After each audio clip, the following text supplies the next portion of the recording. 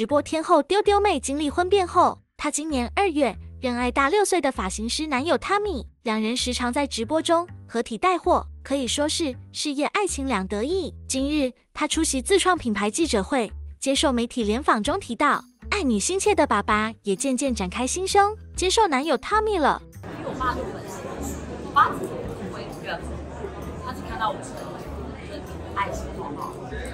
对，他对你男朋友